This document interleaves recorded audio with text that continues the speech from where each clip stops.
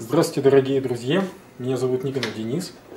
Сегодня мы с вами проведем мастер-класс по написанию облаков. Нам понадобится вот небольшой кусочек, то есть небольшая картоночка. Она проклеена у меня ПВА, серого такого оттенка естественного, которого она есть. Палитра. На палитре краска кадмий желтый средний, белила титановая, э, охра желтая, кадмий оранжевый, кадмий красный светлый, оранжевая неаполитанская, э, фиолетовая какая-то светлая и неаполитанская голубая, спектральная, по-моему. Э, веридоновая зеленая, ультрамарин светлый, вот, и кость жженая, если ничего не путаю. Так, это из черных. Ну что же, первое, что мы сделаем, это обозначим горизонт. Для этого я беру ультрамарин, жиденько. В разбавителе, э, то есть в масленке у нас э, скипидар чистый, то есть такой поверхность слегка как бы тянущая. Вот. То есть можно где-то использовать такой красивый эффект акварельной живописи и слегка от гуаши. Вот. Немножко зададим тон земли, а точнее говоря зелени, которую вы там видите с деревьями у нас присутствует.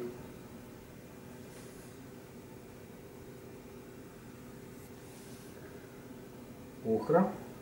Желтая нам в этом помогает, немножко черный.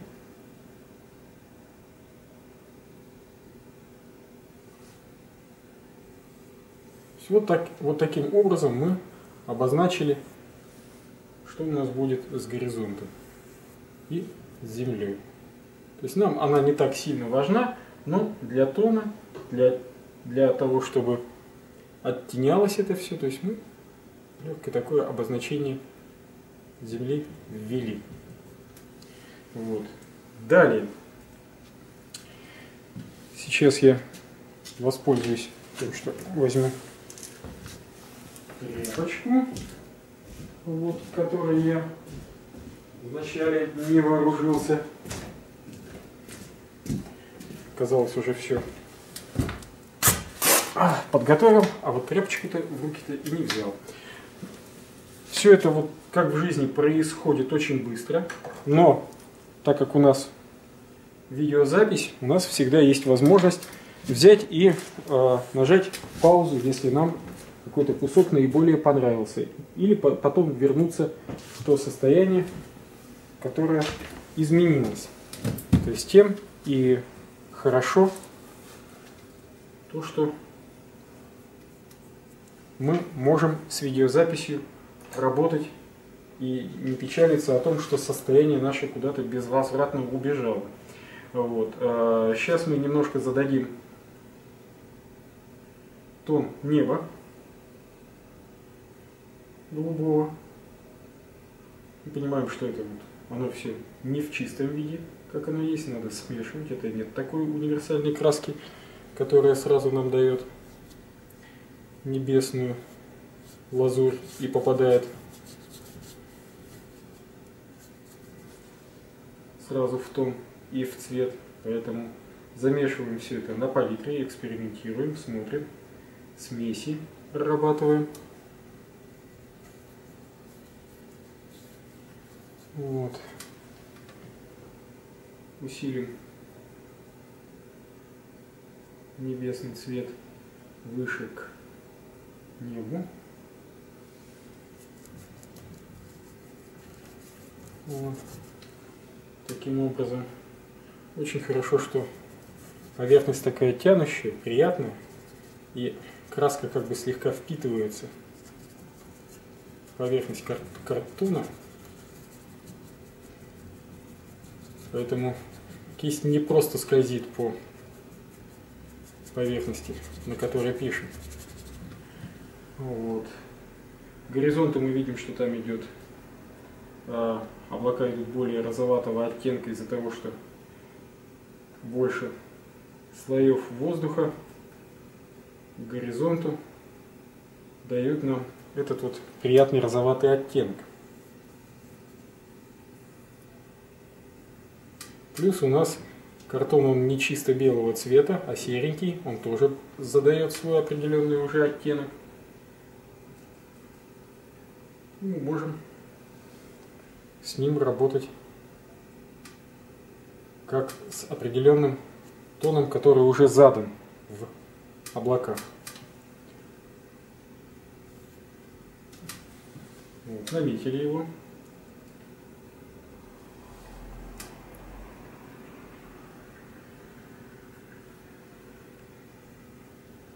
Нежное состояние такое получается. Где-то здесь можем его ввести. Потом вот с этого края еще немножко голубенького можно ввести, показать синеву небесную ближе к горизонту. Вот здесь вот.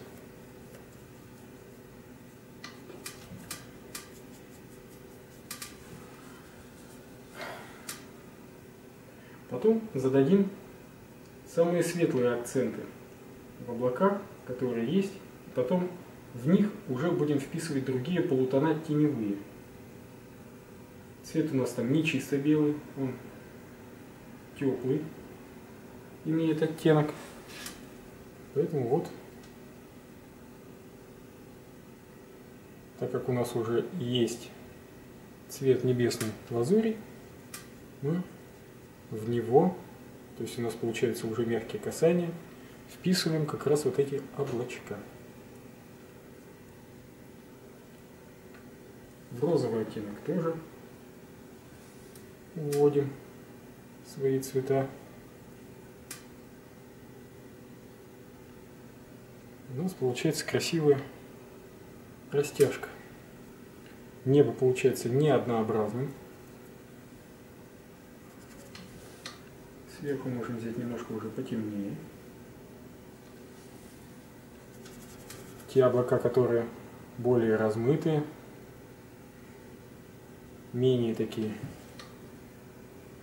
яркие, но в то же время достаточно графичные.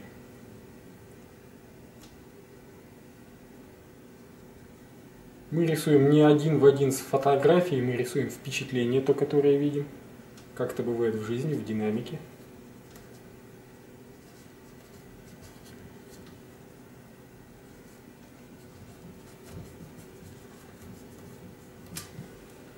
Стараемся поймать то замечательное, что нас удивило в этом состоянии. Пытаемся на нем сконцентрироваться и понять, вот почему нам именно это состояние понравилось, какой силуэт облака нам понравился и полюбился. Как его поймать не упустить. Ловим его.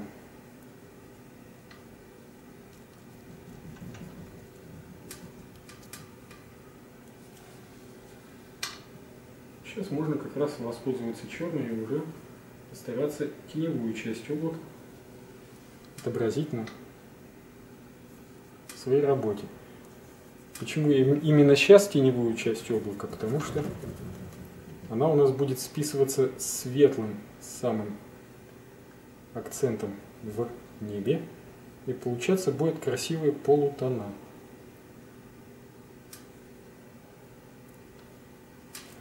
Ближе к горизонту они у нас посинее становятся, не такие охристые, не такие теплые.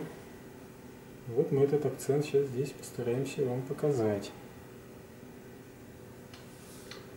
Чуть светлее его возьмем.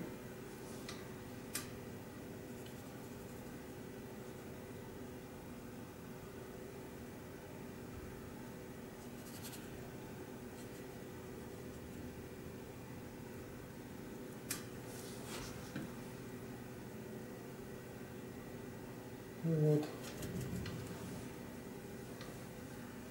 общем-то, состояние очень красивое. Очень хорошо, что Андрей Михайлович его так сумел поймать, вдохновить нас на данный этюд. Вверху теневая часть будет более теплая облако. Мы это тоже покажем. Вот. Розоватый оттенок вводим. Он хорошо ложится на серый картон, то есть дополняет его, просвечивает где-то местами.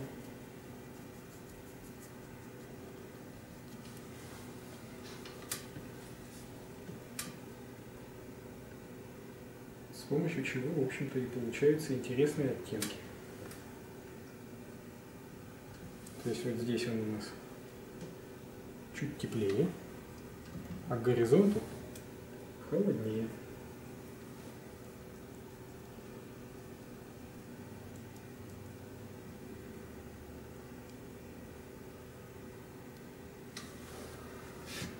Вот.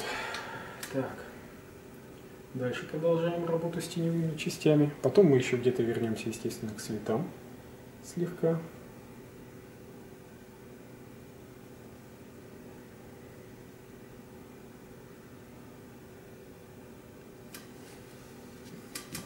Вот такая тренировка в работе с небом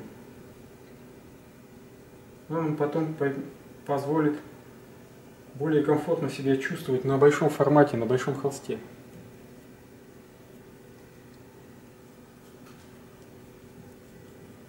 Мы уже будем чувствовать себя не так скованно.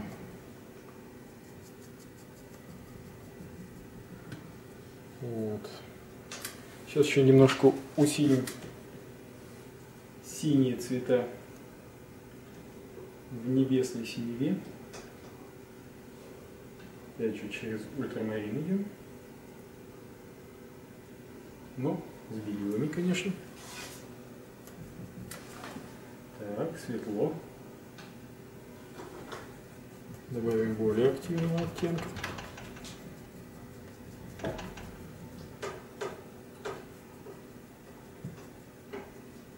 Ну, в общем-то, вот благодаря этому у нас и получается уже более такой насыщенный цвет чуть-чуть фиолетовый. Самую малость. Вот верхушечки вниз растягиваем этот активный цвет. Вот где-то возьмем уже эти, как его, прогалы такие между паром облаков.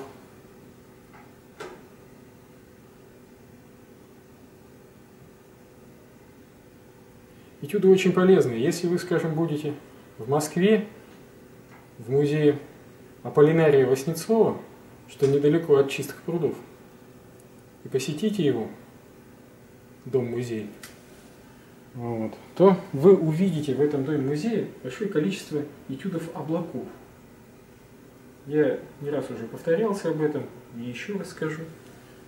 Это очень хороший пример того, как пейзажисту нужно себя штудировать как музыканту в гаммах, чтобы писать небо легко и свободно, чтобы у него были определенные цветовые замесы, которые он будет использовать в своих последующих работах.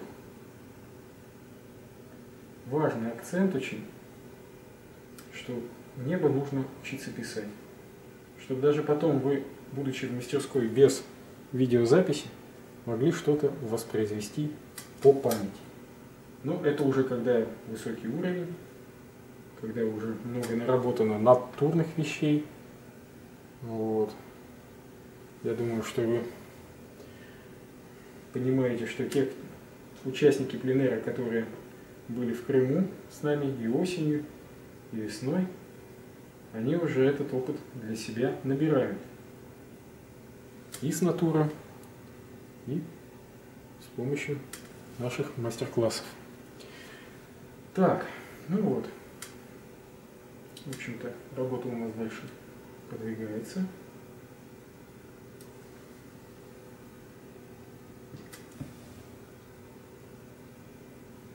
Немножко еще пройдемся по лазури этой небесной.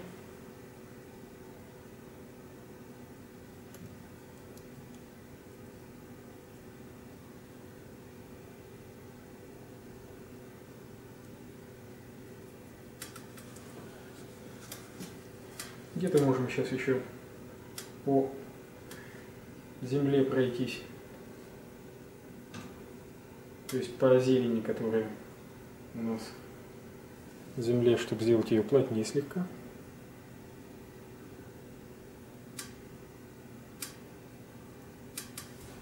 Вот. Чуть красноватого оттенка добавим в эту зелень. Она там более сложная.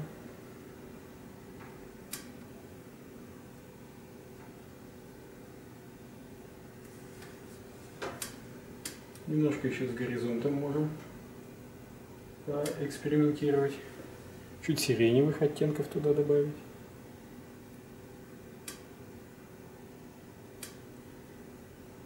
Многоплановости чуть-чуть добавить. Так, вот. Сейчас возьму кисть поменьше. Замешаю опять уже акценты более светлые. Вернусь к ним. Они тут у нас идут сейчас более розоватыми и теплыми оттенками. Немножко поразрабатываем те облачка, которые мы видим ближе к горизонту. Там больше теплого, желтоватого, красноватого оттенка.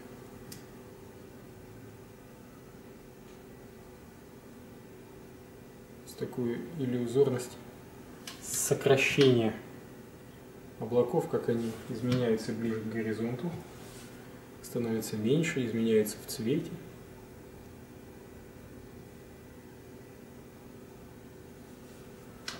Вот. Где-то они лучше освещены, где-то меньше, то есть где-то больше, где-то меньше освещены.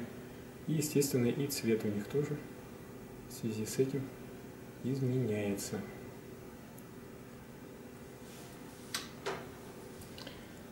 Вот такой вот у нас с вами быстрый этюд, быстрый эксперимент,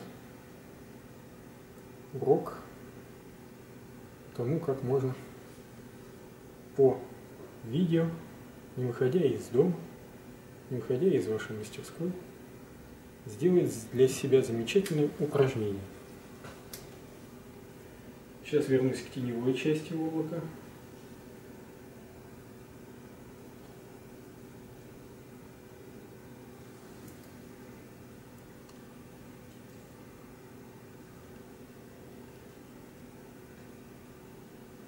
Какие-то касания перехода от, тень, от тени к свету усложняем.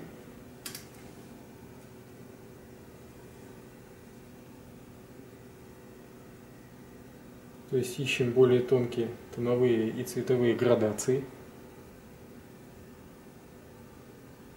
Потом опять вернемся к более темным и светлым акцентам.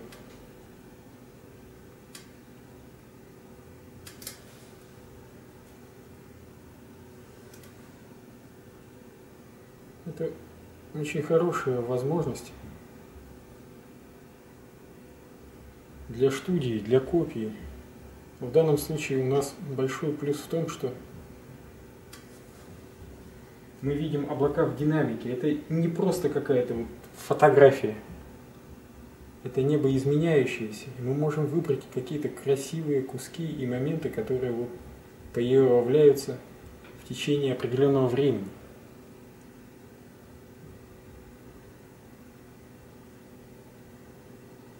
Чем. То есть данное видео я и считаю очень полезным.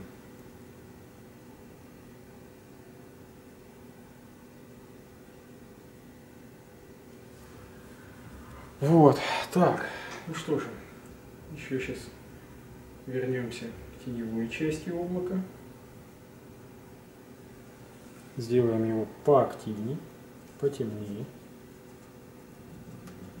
То есть то, куда лучи света попадают меньше, где оно набирает такой тон хмурый, вроде бы. И в то же время они выражают хорошо объем. Стищем полутона.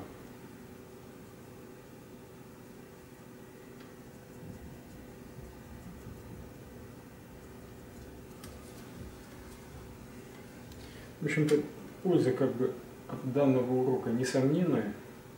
Я вот ее просто даже для себя чувствую, что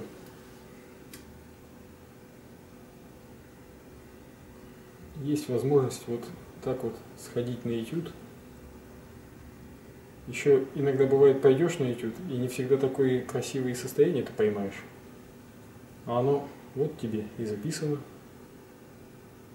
Есть возможность с ним поработать в любое время.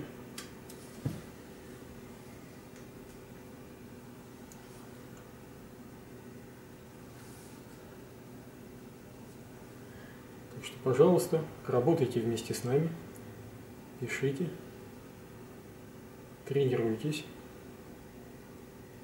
наращивайте свои живописные потенциалы в качестве приемов, цветовых новых каких-то решений для себя.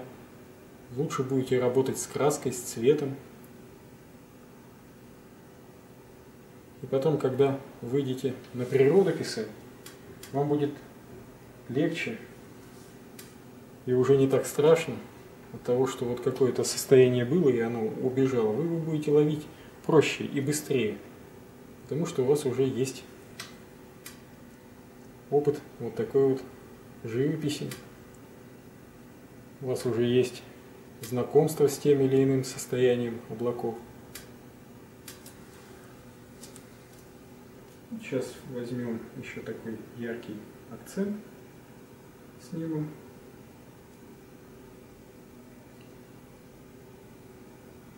В плане самых светлых мест. мест. Вот.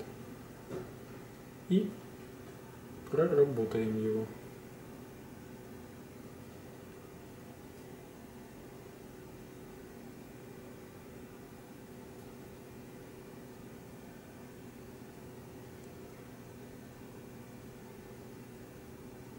Вот.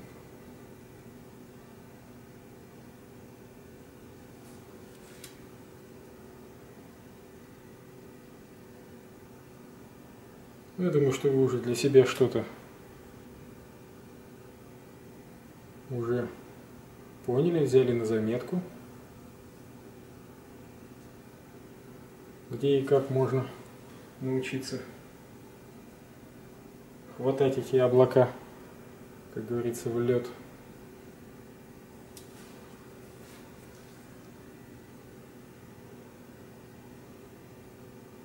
Как-то взяли для себя на вооружение, как по стадии пишется облако что в первую очередь, что во вторую.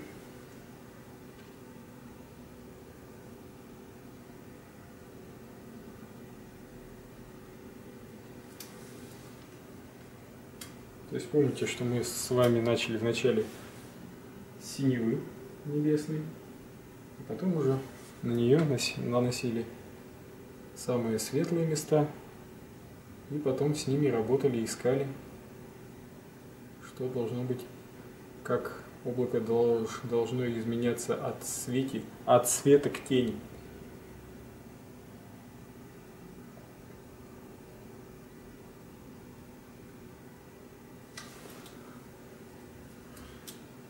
Еще сейчас вот буквально пару несколько штрихов к теневой части облака.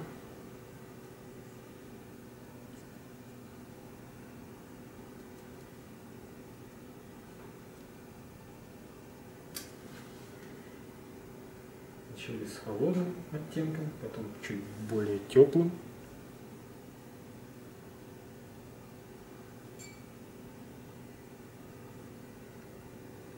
Вот, проработываем эти элементы для себя.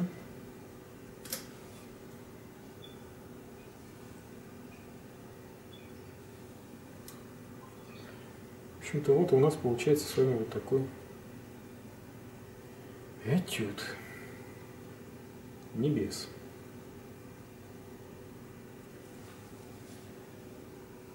Последние штрихи.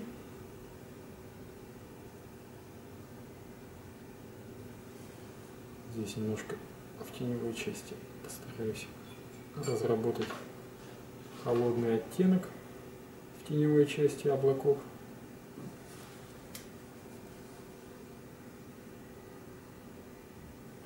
Ну, в общем-то, можно было бы сказать, что, наверное, наверное, на этом все.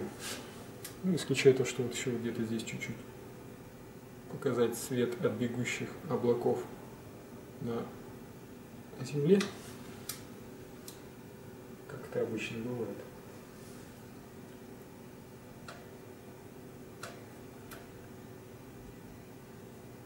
Чтобы картинка наша стала поживей и поинтересней. Вот, в общем, вот так вот, дорогие друзья. Я думаю, что вам этот а, пример работы с этюдом понравился. Так что прощаюсь с вами. Творческих вам успехов. До следующих уроков.